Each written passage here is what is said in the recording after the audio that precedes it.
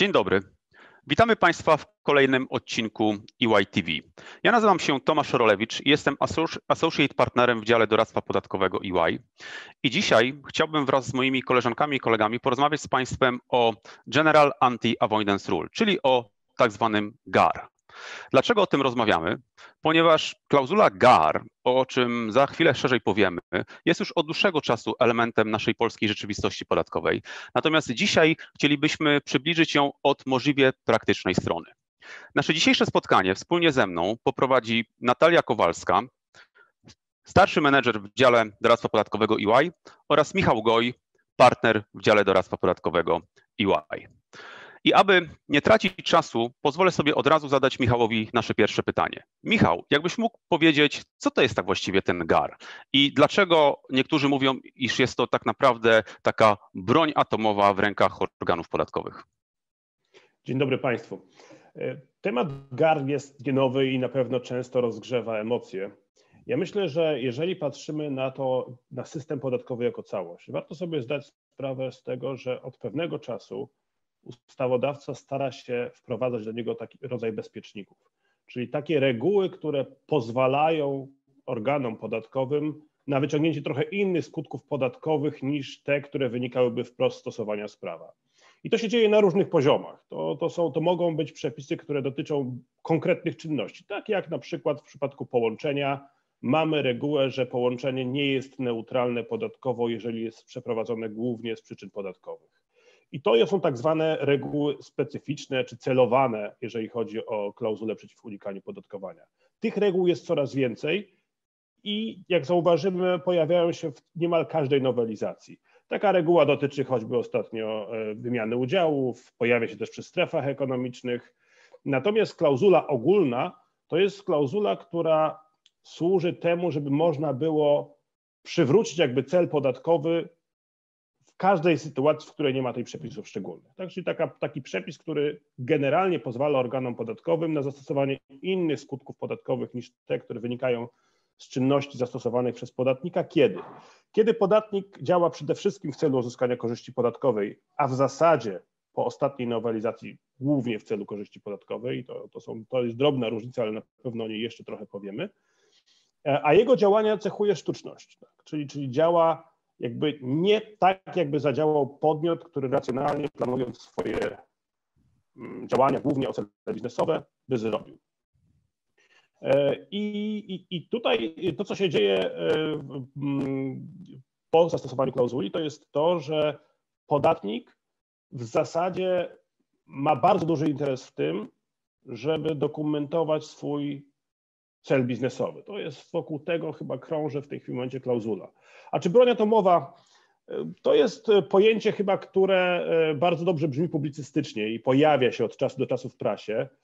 Rzeczywiście broń atomowa w tym sensie, że jest trochę nieprzewidywalna. Jak uderzy, to pewnie skutki będziemy w stanie określić dopiero po tym, jak pozbieramy klocki i zobaczymy, co z tego wyszło ale jednak jest to przepis. Jednak jest to przepis, podlega kontroli sądów, ma swoje ograniczenia, ma swoje zabezpieczenia, więc wydaje mi się, że na pewno ważna broń, ale pewnie atomową bym jej nie określił.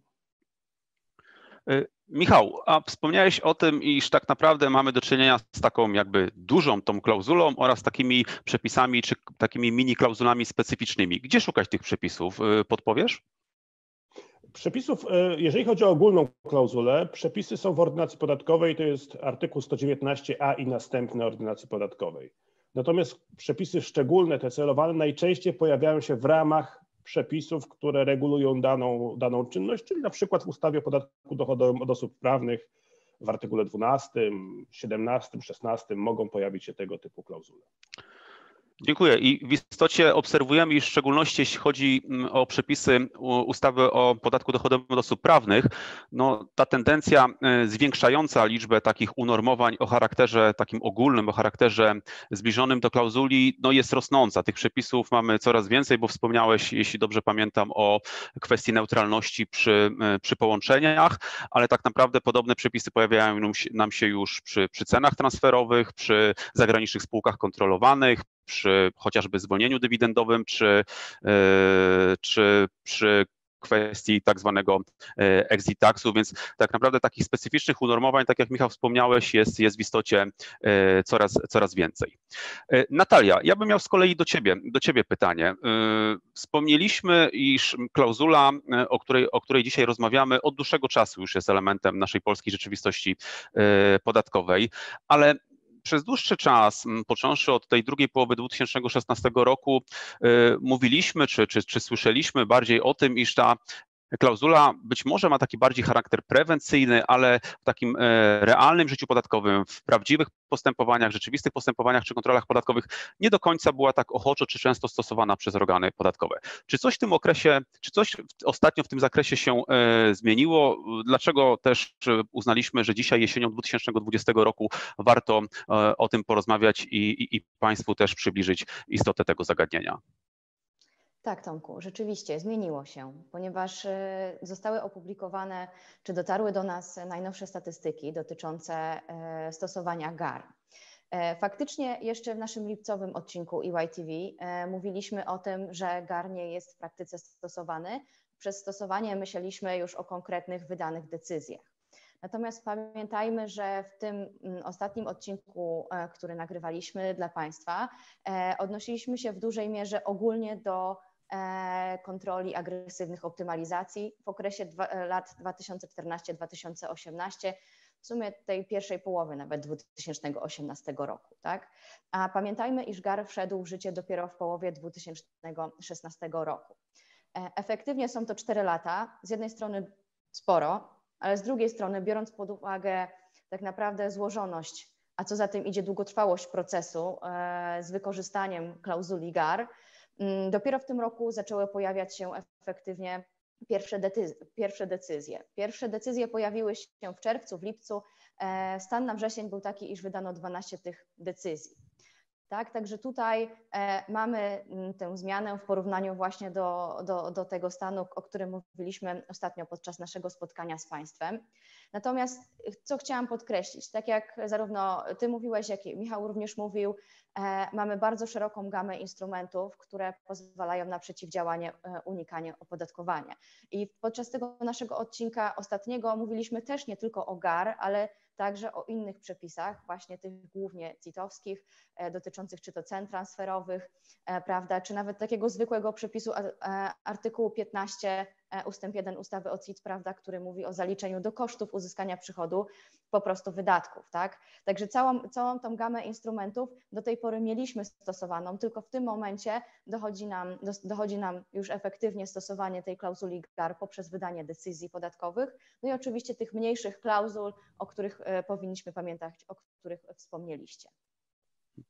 E, Natalia, a wspomniałaś o no, pierwszych e, statystykach, o pierwszych takich e, konkretnych, twardych, rzeczywistych dowodach wykorzystywania tych przepisów, tej klauzuli przez organy podatkowe. Czy możesz przybliżyć te, te, te, sprawy, czy takie stany faktyczne, czy sytuacje, z którymi GAR tak w pierwszej kolejności powinien się kojarzyć. Innymi słowy, do, jakich, do jakiego typu spraw, do jakiego typu stanów faktycznych no, w, twojej, w Twojej ocenie e, te przepisy mogłyby być wykorzystywane? Mhm. Jasne. E, tu jeszcze tylko dopowiem może do tego, co powiedziałam wcześniej. Wspomniałam o 12 decyzjach. Czy dużo? No myślę, że jak na jeden, na, na, na okres trzech miesięcy, myślę, że myślę, że sporo. Opiewają one na łączną kwotę 82 milionów, e, zdaniem szefa KAS, nieuzasadnionych korzyści podatkowych. E, indywidualnie kwoty te wahają się gdzieś tam od miliona do 30 milionów złotych, tak jednorazowo. Tak? Także e, jak widać, mówimy tutaj o tematach, e, które są poważne i faktycznie ten GAR stosowany jest do tematów no, takich nietuzinkowych, prawda? No i co to takiego może być? No tutaj możemy się z Państwem podzielić z jednej strony oficjalnymi danymi, prawda, bo, bo jakby z naszego takiego E, doświadczenia doradczego niestety nie możemy tutaj zdradzać szczegółów. Natomiast co do charakteru spraw, możemy powiedzieć, że to są z jednej strony programy motywacyjne, a z drugiej no taka myślę, że zaskakująca tematyka z jednej strony, a z drugiej strony wskazywana już właśnie wcześniej przez, e, przez organy podatkowe, przez e, szefa KAS, jako mogąca zakrawać właśnie na te działania zmierzające do unikania opodatkowania. A z drugiej strony to różnego rodzaju reorganizacje, czy połączenia, wspomniane przez Was aporty, czy to właśnie struktury związane z, z odpowiednim takim E, uszeregowaniem spółek w celu wykorzystania czy, czy skorzystania z tego zwolnienia dywidendowego. Tak? Także tutaj myślę, że trudno mówić o takim e, zamkniętym katalogu e, sytuacji, do których właśnie może zastosowanie znaleźć GAR. Pamiętajmy, że my czerpiemy swoją wiedzę nie tylko właśnie na, na, na, na podstawie naszych takich bieżących tutaj doświadczeń dorad, doradczych, ale także na podstawie informacji publikowanych przez szefa, szefa KAS, czyli opinii zabezpieczających wydanych, odmów e, opinii, e, odmów wydania e, opinii zabezpieczających, a dzieje się to w sytuacji, kiedy właśnie do takiego działania czy takiej reorganizacji może znaleźć zastosowanie GAR, a także ostrzeżeń publikowanych przez Ministerstwo Finansów. I tam znajdujemy właśnie takie e, poszczególne przypadki, co do których powinniśmy być ostrożni, o których właśnie wspomniałam, ale no tak jak powiedziałam, nie możemy tej listy uznać za wyczerpującą. E, i tak naprawdę z tej perspektywy każde działanie, które podejmujemy i podejmowaliśmy w ostatnim okresie, powinno być zweryfikowane właśnie pod kątem e, możliwości poczynienia takiego zarzutu, iż było to dokonywane no, w, celu, w celu osiągnięcia korzyści podatkowej. Natalia, z tego co mówisz, to wyłania się taki obraz, iż tak naprawdę katalog e, przypadków, katalog stanów faktycznych, e, co, co, do których, czy w zakresie których potencjalnie gdzieś mogłyby być wykorzystane przepisy e, zawierające ogólną klauzulę zapobiegającą obejściu prawa podatkowego, czyli przepisy tak zwanej klauzuli GAR, no, to jest katalog tak naprawdę otwarty i on nigdy nie będzie zamknięty, ponieważ no, nawet natura tych przepisów, o czym wspomniał Michał, e, ich, ich ogólność i tak naprawdę elastyczność e, oznacza, że one mogą być wykorzystywane, wykorzystywane e, tak naprawdę w niesamowicie dużej liczbie przypadków, które zdaniem Krajowej Administracji Skarbowej no, skłaniają czy, czy, czy uzasadniają wykorzystanie tych przepisów. Pamiętam, że Chyba jedne z pierwszych przypadków y, wykorzystywania w praktyce tych przepisów, czyli jedne z pierwszych postępowań to były postępowania w zakresie podatku od, od nieruchomości, to były chyba takie pierwsze próby realnego, rzeczywistego wykorzystania, wykorzystywania y, przepisów y, zawierających klauzulę GAR. Dlaczego o tym mówię? Ponieważ tak jak e, słuchałem e, te, tej odpowiedzi na to pytanie, to, to nasunęło mi się takie, takie porównanie dotyczące w zakresie podatku od towarów i usług. Swego czasu, to już dobrych kilka lat temu, jak rozmawialiśmy o podatku od towarów i usług i e, pierwszych kontrolach, pierwszych postępowaniach, w których weryfikowano należytą staranność podatnika, czyli jego dobrą wiarę przy weryfikowaniu kontrahentów, no, trafiały do nas można powiedzieć, z możliwie każdej strony takie pytania o tak zwane towary czy branże wrażliwe, czyli gdzie szczególnie powinniśmy być tacy wyczuleni, które to towary, które branże są szczególnie narażone na e, proceder tak zwanych e, oszustw VAT-owskich, gdzie szczególnie łatwo o, o, o wyłudzenia, gdzie szczególnie powinniśmy weryfikować naszych kontrahentów. I tak jak początkowo próbowano jakoś identyfikować te branże z takimi dobrami, które były stosunkowo, można powiedzieć, nieduże, łatwe e, w, w logistyce, łatwe w dystrybucji, a jednocześnie były, były wysoko Mowa tutaj była o, o elektronice, potem o jakichś e, lekach, ale tak naprawdę e, ten proceder wyłudzeń VAT-owskich poszedł tak szeroko, że e, za przysłowiową chwilę wszystkie towary, które opodatkowane były zasadniczo stawką podstawową, niezależnie od wartości, mogły być przedmiotem oszustw podatkowych. I tak naprawdę, kiedy nasi klienci pytali nas, jakie towary, jakie branże są wrażliwe, no to my odpowiedzieliśmy, że to już trochę nie to pytanie, bo tak naprawdę wszystko w tym momencie jest praktycznie branżą wrażliwą czy towarami wrażliwymi i tę należytą staranność czy dobrą wiarę powinniśmy e, przy, e, przykładać możliwie szeroko i patrzeć praktycznie na wszystkie towary czy wszystkie branże jako branże potencjalnie wrażliwe, z którymi mogą się wiązać e, oszustwa czy tego typu procedery, procedery jeśli chodzi o podatek VAT. I tak jak słuchałem te, tej, tej Twojej wypowiedzi w zakresie klauzuli, to zastanawiam się, czy trochę nie podobnej logiki powinniśmy zastosować. Innymi słowy, to już nie jest chyba ten moment, kiedy powinniśmy się zastanawiać, czy jakaś branża, czy, jakiś, czy jakaś szczególna sytuacja, czy stan faktyczny jest szczególnie podatny na e, przeanalizowanie go, czy przetestowanie, jak mówimy w żargonie, e, z wykorzystaniem tych przepisów, tylko tak naprawdę charakter i ogólność tych przepisów pozwala na wykorzystanie tych przepisów praktycznie w każdej potencjalnej sytuacji, co oznacza, że my praktycznie na całość działalności naszego, e, naszych klientów, na całość działalności przedsiębiorców, na całość działalności podatników powinniśmy patrzeć z tej perspektywy, że potencjalnie mogą być jakieś obszary, które z perspektywy czy z wykorzystaniem garu mogą być, mogą być wykorzystane, więc to już nie jest ten moment, kiedy poszukujemy pojedynczych jakichś takich transakcji y, czy, czy stanów faktycznych, tylko chyba warto mieć z tyłu, y, jak to się mówi, z tyłu głowy to, że tak naprawdę każdy element naszej działalności gospodarczej może być w ten sposób. Natalia, nie wiem, czy, czy, czy jakby podzielasz moje, y, moje, moje zdanie, czy, czy, czy, czy ono się wydaje może zbyt, zbyt odważne, ale tak, tak, tak, tak, tak naprawdę tak mi się wydaje, że tak, tak powinniśmy na to patrzeć. Tak, zdecydowanie. To jest to dokładnie, co, mhm. co chciałam Państwu przekazać. E, jasne, dziękuję bardzo. Michał, to ja mam teraz do ciebie, do ciebie z kolei e, pytanie. Jeszcze jakbyśmy mogli się zatrzymać na tej stronie e, administracji skarbowej, czy na tej stronie, na tej stronie KAS. Jak, jak to właściwie jest? Jak to, jak dochodzi do tego, że organy Krajowej Administracji Skarbowej no, przechodzą do wykorzystania tych, tych przepisów, o których mówimy? Jak to jest, że, że, że Krajowa Administracja Skarbowa zajmuje się rozliczeniami konkretnego podatnika przy wykorzystaniu tych przepisów? Jak mógłbyś przybliżyć, jak to wygląda w praktyce? Mhm. E, Tomku, jest kilka trybów i, i, myślę, że one wzajemnie się doskonale uzupełniają. E, by, byłoby naiwnością sądzić, że ministerstwo będzie czekać i tak naprawdę spoglądać tylko na sprawę z boku. Wprowadzenie klauzuli nie załatwia sprawy. Oczywiście jej podstawowy wymiar jest wymiarem prewencyjnym. Znaczy wystarczy postraszyć podatników, pokazać, że mamy regułę po to, żeby zablokować pewne zjawiska. Ale ten wymiar też nie trwa długo, bo, bo jeżeli nie pojawia się akcja, to narzędzie przestaje być, może być przestać ocenione jako wiarygodne.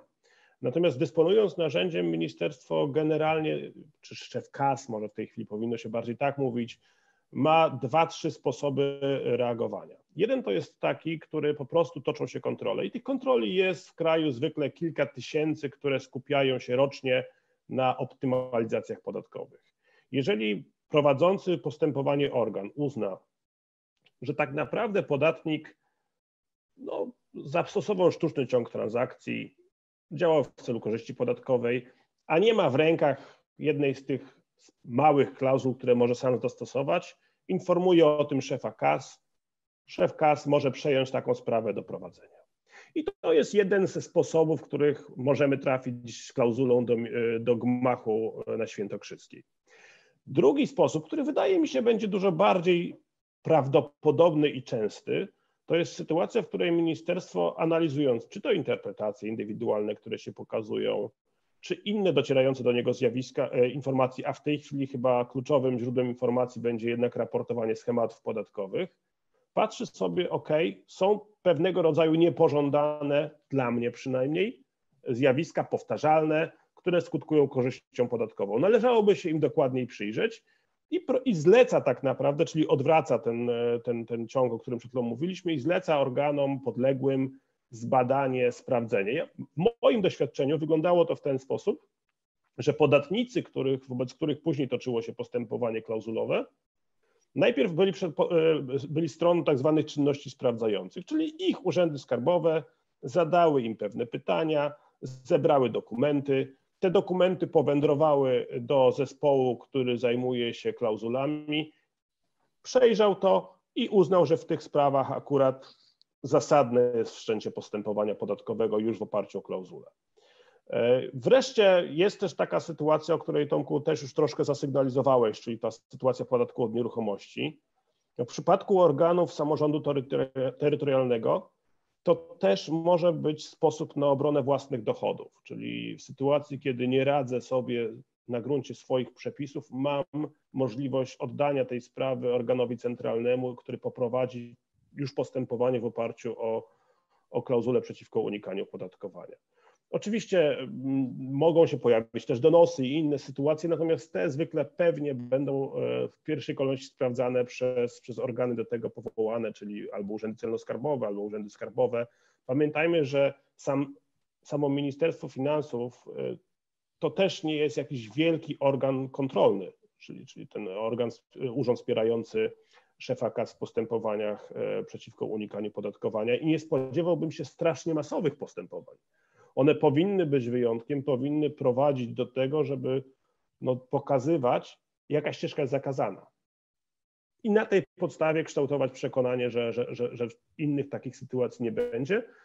Natomiast rzeczywiście to są, to są sposoby dotarcia. Oczywiście są też sposoby dotarcia, gdzie podatnik sam może przyjść do szefa kas z problemem, no ale naturalnie te będą pewnie znacznie rzadsze. Michał, z tego co mówisz, to co do zasady szef KAS może albo samodzielnie zająć się tego typu sprawą, albo może zająć się sprawą, czyli może analizować nasz stan faktyczny, nasze, nasze rozliczenia przy wykorzystaniu e, tych przepisów e, na prośbę innego organu, który w toku takiej powiedzmy rutynowej, typowej kontroli podatkowej w zakresie na przykład podatku dochodowego do osób prawnych uzna, że potencjalnie warto tutaj jeszcze przeanalizować tę sprawę z wykorzystaniem tych przepisów. Czyli jak rozumiem e, i potwierdź tutaj proszę, czy czy, czy, czy rozumiem to, e, to właściwie. Może być tak, że taka można powiedzieć, rutynowa, nie chcę powiedzieć codzienna, ale taka kontrola, jakich wiele, na przykład w zakresie podatku, e, podatku dochodowego, dochodowego od osób prawnych, która przez dłuższy czas analizuje w sposób taki rutynowy, można powiedzieć jeszcze nie wyróżniający się nasze, nasze rozliczenia podatkowe, może nagle y, jakby zmienić zupełnie swoją, swój charakter, swoją naturę i z takiej rutynowej kontroli y, przekształcić się w kontrolę, a później w postępowanie z wykorzystaniem właśnie tej, jak to powiedzieliśmy na początku, nazywanych przez niektórych y, bomby atomowej, prawda? Dokładnie. I to jest połączone jeszcze często z tym, że na przykład w ustawie o KAS mamy regulację, która pozwala organom zadawać pytania o okresy, o zdarzenia z okresów, które wykraczają poza zakres postępowania. Tak? Czyli jak mam postępowanie w podatku dochodowym za 2016 rok na przykład, pojawiają się czasami pytania o zdarzenia wcześniejsze, czasami późniejsze i to nawet ma umocowanie e, w ustawie. E, myślę, że we wszystkich tych sytuacjach, kiedy organ zadaje pytania, które czasami nawet wydają się jakby niepowiązane z przedmiotem postępowania, e, zadajemy sobie pytanie po co, ale jaki to ma wpływ na to, co ty akurat badasz, może się okazać, że po prostu zbiera informacje po to, żeby zrozumieć szerszą perspektywę i zastanowić się, czy aby e, sprawa nie powinna być skierowana na tryby inne niż rozpoznanie po prostu w oparciu o, o, o przepisy ustawy o podatku dochodowym od osób prawnych. E, jasne. Więc Michał, e, zanim przejdziemy jeszcze do tej kwestii, e, o którą mam nadzieję Natalia nam tutaj super przybliży, czyli jak przygotować się na kontrolę czy postępowania z wykorzystaniem tych przepisów, ja będę miał do Ciebie jeszcze jedno pytanie a propos właśnie tej, tej, tej procedury, bo gdybyśmy już można powiedzieć przenieśli się w czasie i mieli już jakby w ręku jakieś rozstrzygnięcie czy de decyzję wydaną przez szefa Krajowej Administracji Skarbowej przy wykorzystaniu tych przepisów, o jakich konsekwencjach e, dla, dla spółki, czy też dla, dla, dla zarządów spółek e, powinniśmy, powinniśmy pamiętać. Michał, i zanim poproszę Cię o odpowiedź, to jeszcze będę miał prośbę do naszych, do uczestników naszego spotkania, mam prośbę, jak to się ładnie mówi, do naszych widzów. Jeżeli cokolwiek e, z tej tematyki, o której tutaj wspólnie z Natalią i Michałem rozmawiamy, szczególnie jest dla Państwa interesujące, albo w co wierzę macie Państwo jeszcze do nas jakieś dodatkowe pytania, bardzo zachęcam do wykorzystania formularza umożliwiającego umożliwiającego zadania nam takich pytań. Y, guzik czy taki przycisk do tego formularza widzicie Państwo, czy powinniście Państwo widzieć na ekranie w jego, w jego górnej części. A Michał, w tym momencie już jakby przechodzę do Ciebie i proszę Cię jeszcze o krótki komentarz, jeśli chodzi właśnie o te skutki y, i, i konsekwencje. Mhm. Myślę, że najważniejszym skutkiem, i to, to pewnie nie będzie tajemnica, to jest kwestia samego podatku. On jest niejasny. To znaczy, jak w momencie, kiedy rozpoczyna się postępowanie podatkowe, często nawet nie potrafimy określić, jaki to będzie podatek, jaka kwota zapłaty, choćby dlatego, że nie wiemy w oparciu o jaką czynność szef KAS określi skutki podatkowe, bo o tym nie powiedzieliśmy, ale e, klauzula, zastosowanie klauzuli polega mniej więcej na tym, że ja sobie muszę wybrać, czy też tak naprawdę szef KAS na tego dokona, choć powinien zapytać o to podatnika o zdanie również, czynność odpowiednią, czyli taką czynność, która powinna zostać zastosowana w danych okolicznościach, gdyby podatnik kierował się e, celami biznesowymi, tak może powiedzmy, i określić podatek taki, jaki byłby należny wobec tej czynności, czyli zupełnie hipotetycznej czynności. E, I pierwszy skutek to jest oczywiście podatek. Dodatkowy podatek, e, którego nie przewidzieliśmy w swoich budżetach. Do końca 2018 roku w zasadzie, jeżeli chodzi o kwestie finansowe, na tym się kończyło. Od 2019 roku do tych zdarzeń po 2019 roku mamy jeszcze do czynienia z dodatkowym zobowiązaniem podatkowym, które zresztą było motywowane e, jego wprowadzenie w ten sposób, że szef KAS, ministerstwo powiedziało sobie w ten sposób, że no jeżeli podatnik ryzykuje tym, że zapłaci podatek, którego może nie zapłacić, to pewnie podejmie ryzyko niezapłaty podatku i w najgorszym razie zapłaci ten podatek z odsetkami. A teraz, jeżeli go złapiemy na, na gorącym uczynku, to, to, ten podatek zapłaci tak naprawdę dwukrotnie, tak? bo, dodatkowe zobowiązanie podatkowe w zasadzie przy dużych wartościach to jest co najmniej dwukrotność podatku, e, który jest niezapłacony. E, do tego dochodzi oczywiście kwestia też odpowiedzialności osobistej. Ja myślę, że e, w przypadku klauzuli przeciwko unikaniu opodatkowania, trochę inaczej niż w przypadku tych klauzul specyficznych, są naprawdę mocne argumenty, żeby twierdzić, że nie powinno być w takiej, mieć w takiej sytuacji dochodzić do odpowiedzialności karnej skarbowej.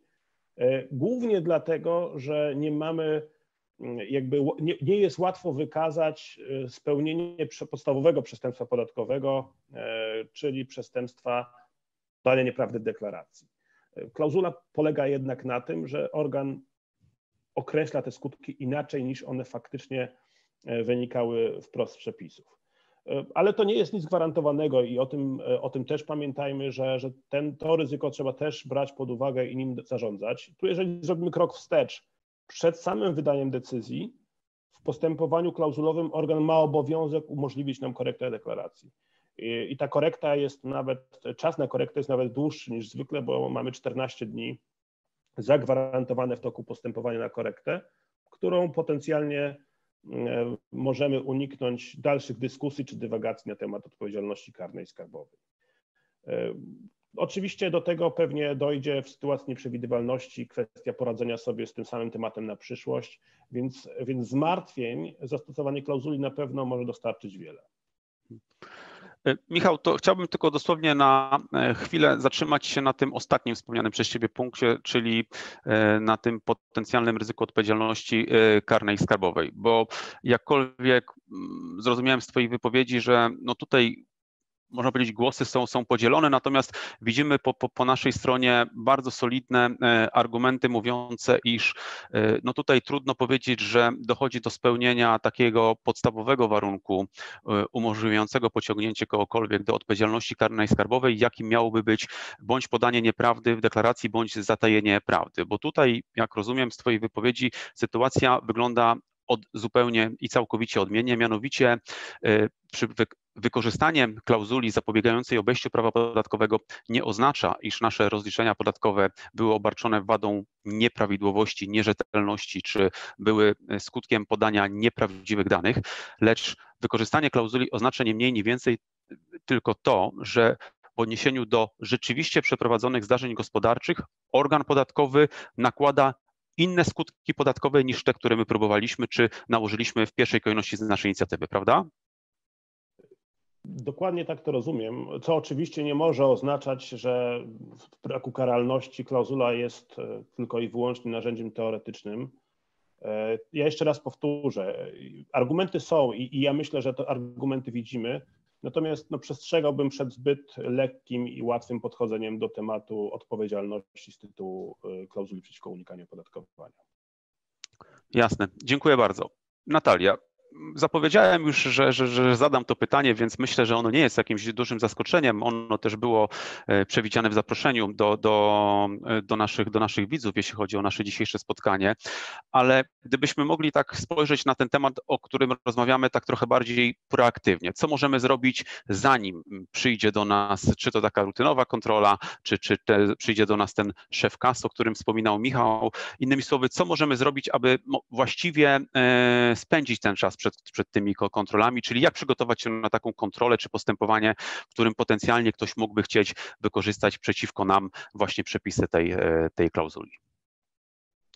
Dokładnie. Ten czas powinniśmy wykorzystać dobrze na analizę i zabezpieczenie ryzyk. Poprzez analizę, e, przez analizę rozumiem oczywiście identyfikację obszarów, no, które mogą budzić spór z organami podatkowymi. Wcześniej wspominaliśmy o tej liście, a w zasadzie o jej braku, więc zasadniczo e, powinniśmy przyglądać się e, praktycznie wszystkim naszym działaniom. A na pewno tym istotnym, istotnym dla przedsiębiorstwa, jeżeli chodzi o kwotowo czy ryzyka e, niosące, niesione przez te czynności dla naszej działalności.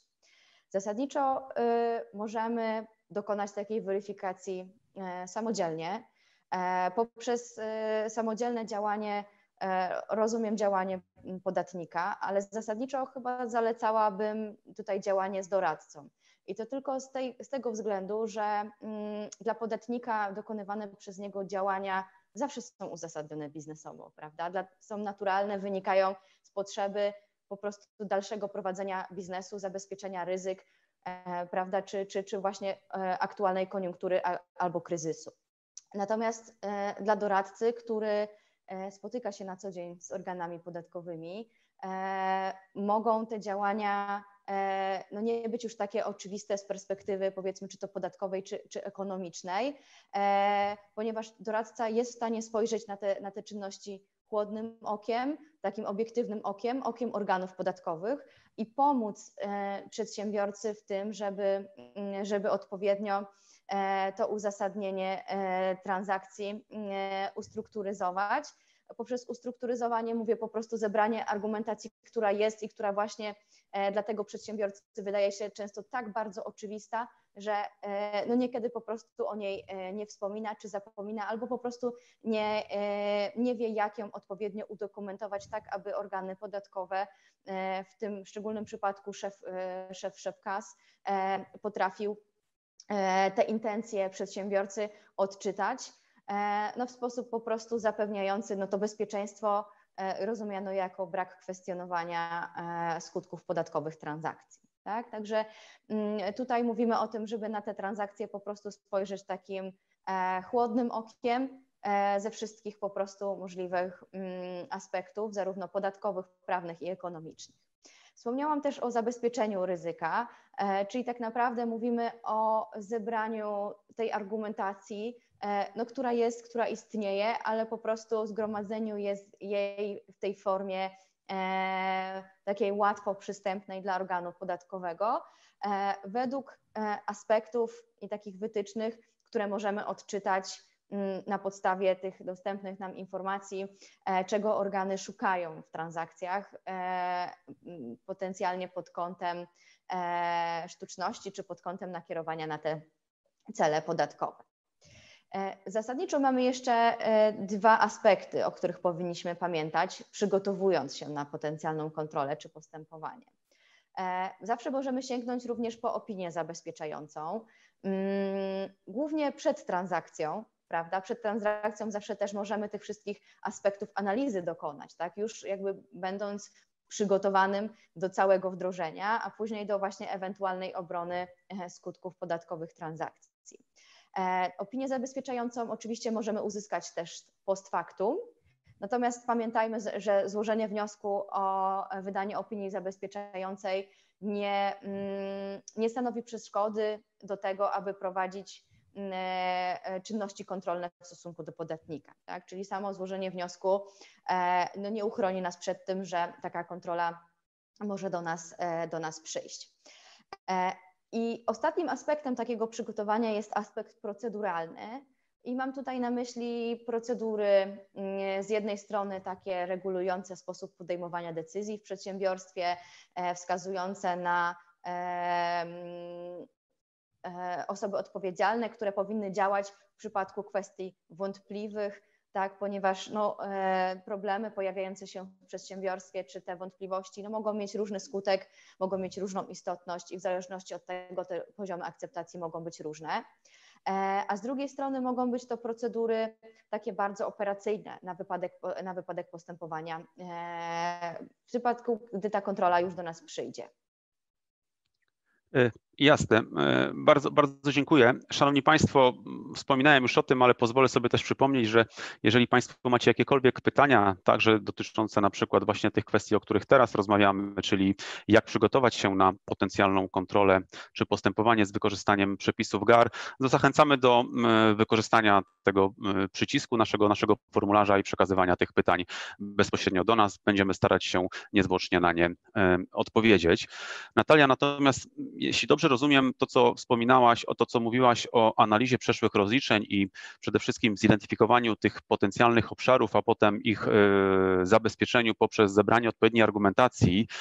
Ja tak naprawdę pamiętam, iż mm, w związku z, no, z ostatnimi, czy z jednymi z ostatnich zmian do ordynacji podatkowej, a w szczególności właśnie do tych przepisów, o których rozmawiamy, no, nie możemy już teraz jakby odciąć czy wy, wyłączyć z naszych rozważań pewnych transakcji, które w naszej ocenie, no powiedzmy, są niedostatecznie duże i klauzula GAR na przykład z uwagi na niespełnienie jakiegoś limitu kwotowego czy nieprzekroczenie limitu kwotowego nie będzie mogła być do nich zastosowana, bo tak naprawdę po ostatnich zmianach ta klauzula może być przecież wykorzystana także w odniesieniu do, e, do małych, do, do, do nawet najdrobniejszych operacji. Oczywiście w praktyce pewnie nie spodziewamy się, iż e, szef Krajowej Administracji Skarbowej będzie wykorzystywał swoje zasoby i e, te przepisy do jakichś, można powiedzieć, drobnych, nie, nie, nieistotnych kwotowo, kwotowo pozycji. Natomiast pamiętajmy, że już jakby limit kwotowy, z którym kiedyś gdzieś tam mogliśmy tę klauzulę kojarzyć, on już po prostu został wyeliminowany z przepisów i teraz tak naprawdę do każdej operacji czy czynności prawnej, e, czy czynności faktycznej e, taka klauzula może być zastosowana. Ale wspomniałaś także jeszcze o tym zebraniu argumentacji. Myślę, że tutaj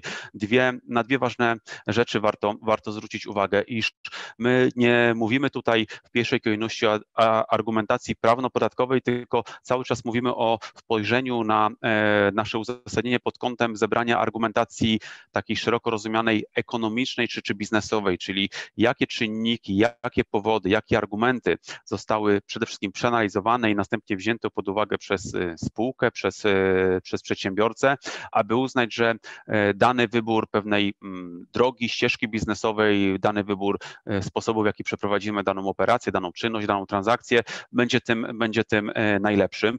No i warto tutaj też pamiętać o, o datach, jeśli mogę tak powiedzieć zupełnie wprost, bo jak rozumiem, dobrze mieć to udokumentowane w taki sposób, aby te e, no, daty potwierdza, potwierdzały, iż te analizy, te, te, te, te nasze e, wewnętrzne dyskusje no, miały miejsce, miały miejsce przed podjęciem jakichkolwiek decyzji. Oczywiście jakby to nie stoi na przeszkodzie, aby udokumentować takie, takie czynności e, i zebrać je gdzieś tam do, do, do tego defense file, o którym mówiłaś także po przeprowadzeniu naszej, naszej operacji. Natomiast pamiętajmy, że próbujemy tutaj e, znaleźć jak najlepszą i najbardziej efektywną drogę do tego, aby po, e, pokazać te wszystkie czy, czynności takie analityczno-dyskusyjne i decyzyjne, które poprzedzały podjęcie przez nas czy przez spółkę określonej, określonej decyzji. I teraz mam Natalia do Ciebie jeszcze jedno pytanie, jeśli pozwolisz. Mianowicie wspominałam wspomniałaś o tym e, defense file'u, tak?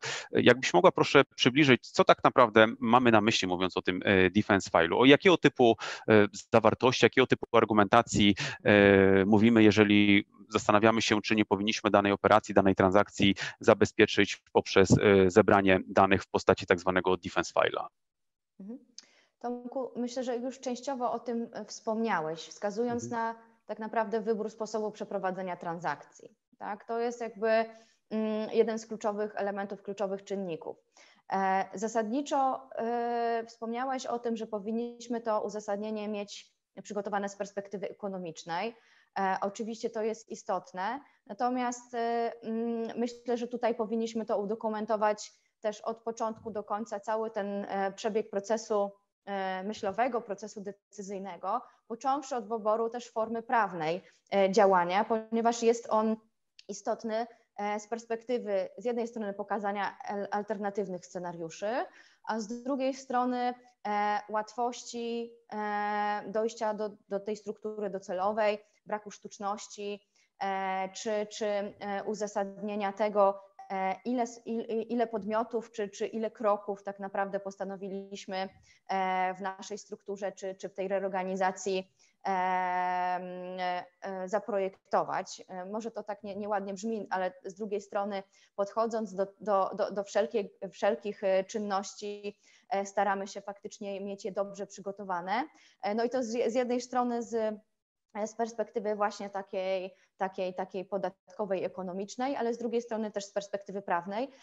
I tak naprawdę bym pokazywała w tym defense file'u całość. Dla przykładu e, takiej, takiej, takiej istotności tego spojrzenia e, prawnego można wskazać na przykład, e, na przykład kwestię odwrotnego połączenia, które niejednokrotnie było przez organy podatkowe wskazywane jako trudniejsze, nie do końca wynikające jednoznacznie z przepisów kodeksu spółek handlowych, co zdaniem organu świadczyło o tym, że sposób działania mógł być sztuczny. Oczywiście jakby to, to, to jako jeden z przykładów tak, podaję tylko i wyłącznie i nie, nie, nie całkowicie świadczący o sztuczności, natomiast aspekt ten był wykorzystywany przez organy podatkowe, e, żeby, żeby pokazać to, że, że potencjalnie e, podatnik wybrał trudniejszą drogę postępowania i tak jak powiedziałam, nie wynikającą e, dokładnie z przepisów.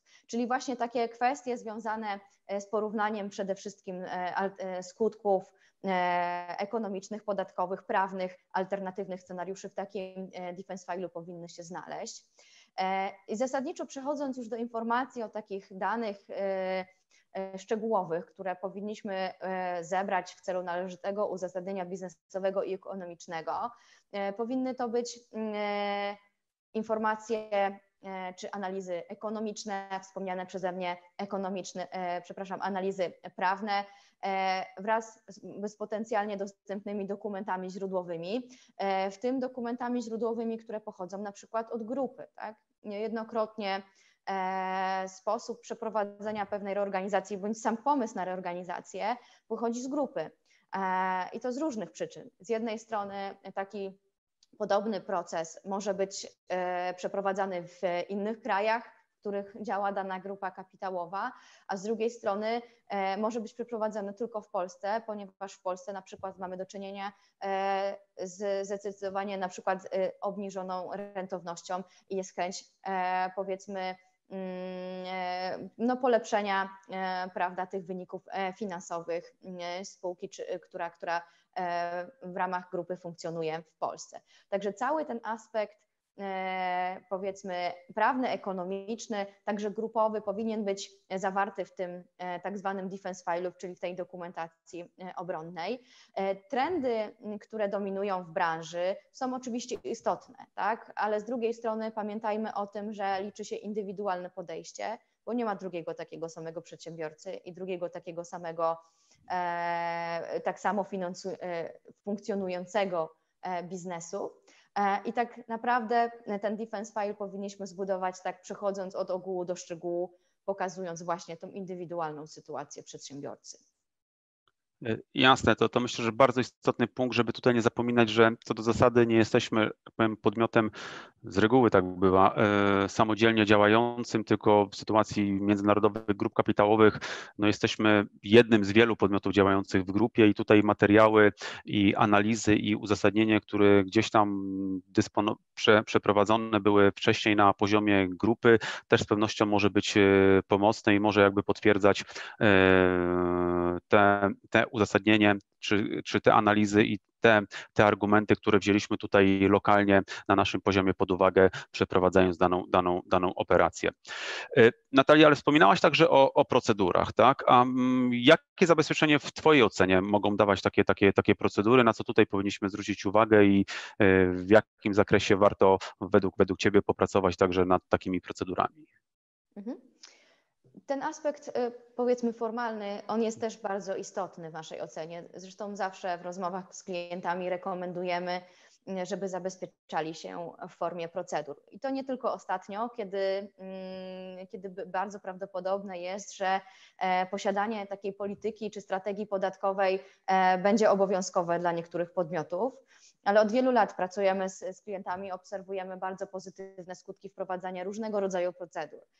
Z jednej strony mówimy o procedurach e, typu polityka podatkowa, czyli tak jak już e, troszeczkę wcześniej wspomniałam, e, dokument, który pozwoli nam ustrukturyzować sposób podejmowania decyzji, osoby odpowiedzialne, kwestie tak zwanego apetytu na ryzyko, czyli jakby w jaki sposób podchodzimy do ewentualnie kwestii wątpliwych, czy, czy i kiedy się zabezpieczamy i czy i kiedy powinniśmy wejść w taką transakcję albo się z niej wycofać.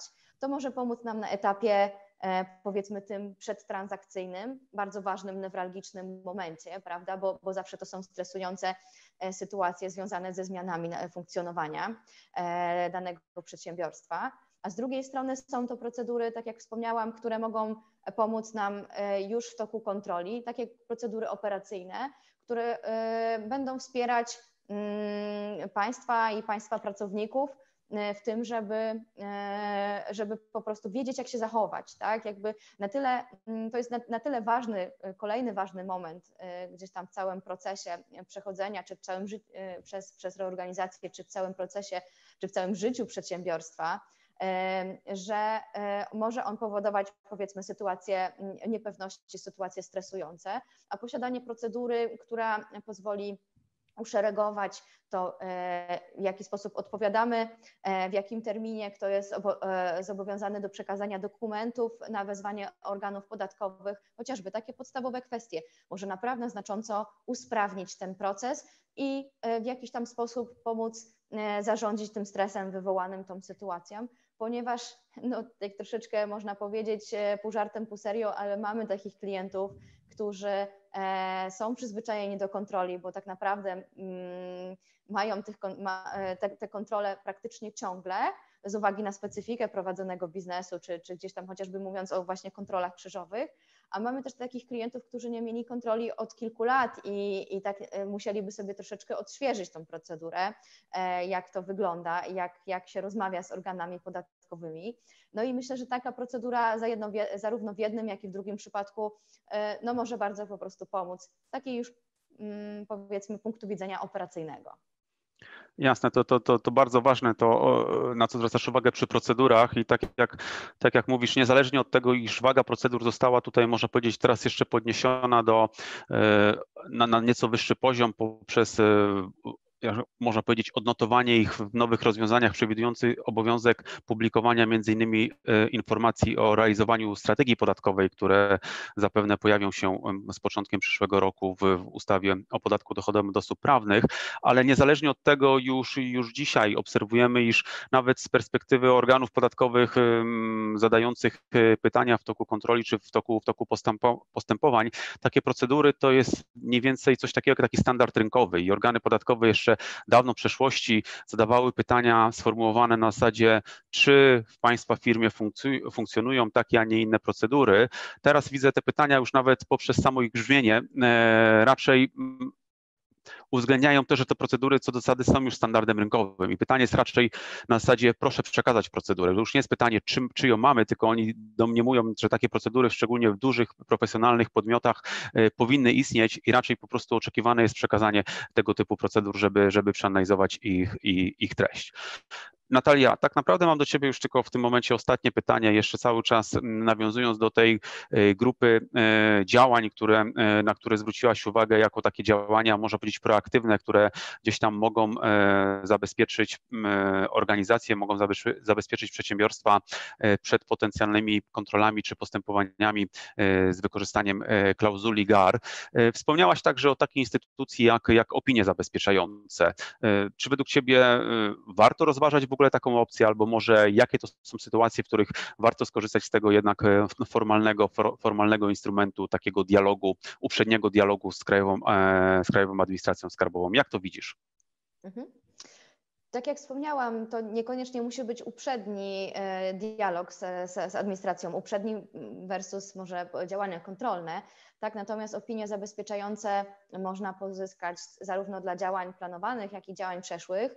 To, gdzie to rekomendujemy, no to pewnie są sytuacje, kiedy mówimy o, działa, o działaniach przyszłych, prawda? Bo, bo jednak opinia zabezpieczająca to jest instrument, który może nam pomóc e, po prostu e, przewidzieć te skutki albo przewidzieć percepcję e, szefa kasów w odniesieniu do naszych działań, bez konieczności czekania już na potencjalną kontrolę tak, tych naszych rozliczeń. Także tutaj po takich działaniach analitycznych związanych z planowaniem danej transakcji, czy reorganizacji, czy danego, danego schematu, e, myślę, że warto wtedy podjąć decyzję, czy chcielibyśmy pójść po opinię zabezpieczającą, e, czy e, w tym momencie po prostu pozostajemy na przykład na etapie sporządzenia defense file'a.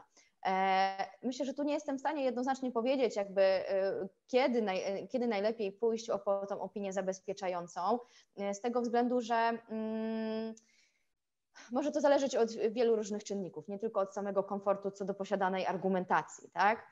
Natomiast jeden taki czynnik, który na pewno może tutaj wejść w grę, to jest czynnik czasowy, tak? I mm, tutaj myślę, że warto też posłużyć się statystykami, ale też oczywiście przepisami. Tak? E, opinia zabezpieczająca powinna być wydana w terminie 6 miesięcy. E, I tak na dobrą sprawę średni czas trwania postępowania to właśnie 6 miesięcy. Tak? E, w tych przypadkach, gdzie została wydana opinia, mówimy o czasie około 5 miesięcy. Natomiast no, postępowanie oczywiście trwa, na, trwa i może zakończyć się odmową wydania opinii zabezpieczającej, jakby w sytuacjach właśnie, kiedy z taką z takim potencjalnym ryzykiem zastosowania klauzuli możemy mieć do czynienia, tak? Natomiast jakby tak czy inaczej jakiś rezultat oczywiście z tego postępowania będziemy mieć. Niemniej, tak jak powiedziałam, musimy się liczyć z czasem około 5-6 miesięcy. Nie zawsze mamy taki komfort, jeżeli chodzi o ten harmonogram reorganizacji, szczególnie jeżeli reorganizacja planowana jest gdzieś tam e, y, przez odgórnie przez grupę i ma toczyć się powiedzmy równolegle e, w wielu krajach. Jak już wspomniałam o tych statystykach, to e, myślę, że można, to pod, można, można je podsumować e, w taki sposób, że z początku e, to trochę było jak z klauzulą, czyli, czyli potrzebny był rozbieg, potrzebne było w jakiś tam sposób troszeczkę wypróbowanie tych przepisów i w tym momencie ten aparat myślę, że zaczął już działać i przynosić efekty. E, według stanu na 23 października e, złożono 60 wniosków o wydanie opinii zabezpieczającej, czyli mówimy o okresie 4 lat. Czy to dużo? Mm, trudno powiedzieć, powiem tak, bo, bo oczywiście tutaj ta, ta decyzja, e, tak jak wcześniej powiedziałam, no nie jest łatwa i na pewno to nie jest, nie, nie jest jednoznaczne, ta rekomendacja co do pójścia o opinię zabezpieczającą. E, zasadniczo na tych 60, 60 e, wydanych wniosków e, mamy 22 opinie, czyli sytuacje, gdzie KAS potwierdził, że nie, znajdzie, nie znajdzie zastosowania klauzula i 9 odmów wydania, czyli sytuacje, w których jest ryzyko, gdzie taka, taka klauzula może mieć zastosowanie. Natomiast w 16 przypadkach postępowanie za, zakończyło się innym rozstrzygnięciem. 6 wniosków pozostawiono bez rozpatrzenia, co może też świadczyć o tym, że nie zawsze wszyscy są mm, dobrze przygotowani do tego, aby odpowiednio e, wniosek o opinię zabezpieczającą e, przygotować, napisać, e, ponieważ wniosek no, jest dosyć sformalizowany, wymaga też załączników i odpowiedniego opisania sytuacji i uzasadnienia tego stanowiska. Także, tak jak powiedziałam, no, trzeba się do tego dobrze przygotować. Dziękuję bardzo. Z tego, co mówisz i patrząc w szczególności na, na statystyki, to myślę, że te 60 przypadków, kiedy przez niespełna 4 lata, czy ponad 4 lata e, funkcjonowania tych przepisów e, podatnicy zdecydowali się o wystąpienie z wnioskiem o opinię, no wskazuje, iż są to starannie wyselekcjonowane przypadki i oczywiście e, jeśli chodzi o tę ścieżkę, czyli ścieżkę z wykorzystaniem opinii zabezpieczającej, nie można jej absolutnie wykluczać, no to myślę, że tutaj też zważywszy na te argumenty, na które ty, Natalio, zwróciłaś uwagę, no warto z dużą, można powiedzieć, ostrożnością zweryfikować, czy to jest akurat ten kierunek, z którego w którym chcielibyśmy pójść, zabezpieczając nasze transakcje czy, czy operacje. E, szanowni Państwo, opinie zabezpieczające to tak naprawdę e, finał, finałowy punkt naszego, naszego dzisiejszego spotkania, naszej, naszej e, rozmowy. Dziękujemy tym z Państwa, którzy zadawali w trakcie naszego spotkania pytania i też zachęcamy pozostałych z Państwa do wykorzystania jeszcze tej ostatniej części, aby te pytania do nas przekazać za pośrednictwem wspomnianego przeze mnie formularza. Zanim pozwolę sobie zakończyć nasze, nasze spotkanie, no to też chciałbym oczywiście podziękować Natalii Kowalskiej i Michałowi Gojowi za e, współprowadzenie naszego dzisiejszego spotkania wspólnie, wspólnie ze mną. Natomiast myślę, że takim najlepszym e, podsumowaniem tej naszej dzisiejszej rozmowy, jeśli chodzi o e, klauzulę zapobiegającą obejściu prawa podatkowego, to nie będzie tylko potwierdzenie, iż ona no, przeszła, można powiedzieć, swoistego rodzaju drogę z klauzuli o charakterze czysto prewencyjnym, prewencyjnym do, do takiej klauzuli, która już realnie działa, ale myślę też, że warto pamiętać o tym, iż y, ciężko, jeżeli to w ogóle możliwe, selekcjonować te obszary działania naszych organizacji, te obszary działania y, przedsiębiorstwa, czy te obszary działania firmy, w których precyzyjnie rzecz biorąc klauzula mogłaby mieć zastosowanie, a w których nie. Tak naprawdę jej charakter, jej sposób działania, jej sposób wykorzystywania przez organy podatkowe i też e, no, rozmaity zakres czy rozrzut stanów faktycznych, co, na co też wskazywał uwagę Michał oraz wskazywała uwagę Natalia, no, potwierdza tę tezę, iż do szerokiego zakresu działań, organizacji działań firmy tak klauzula nie tylko może, ale i ma w praktyce zastosowanie. I myślę, że z tej perspektywy powinniśmy analizować, czy warto przeanalizować e, obszary naszej działalności, w szczególności e, takie mniej standardowe e, czynności, mniej standardowe transakcje, mniej standardowe operacje, aby przeanalizować je pod kątem tego, na ile one są impregnowane, na ile są one bezpieczne przed potencjalnym przed potencjalną analizą czy oceną ich przy wykorzystaniu tych przepisów i ewentualnie wykorzystać ten e, czas na takie uprzednie e, zebranie i zebranie w jednym miejscu tej argumentacji nie tylko prawnej, nie tylko czy przede wszystkim nie podatkowej, ale także takiej ekonomicznej, biznesowej, o której wiele mówiła Natalia, aby po prostu być spokojnym i być przygotowanym na potencjalne dyskusje z organami podatkowymi w tym, w tym zakresie. Dziękuję bardzo e, Natalia. Michał, także Ci dziękuję za, myślę, bardzo, bardzo cenne tutaj głosy i, i spostrzeżenia. Państwu dziękujemy wspólnie za, za udział w naszym dzisiejszym e, spotkaniu oraz za zadawane nam e, pytania. I pozostaje mi, nie pozostaje mi tylko nic innego, jak zaprosić Państwa na pozostałe nasze odcinki z cyklu EY, EY TV. Bardzo dziękujemy.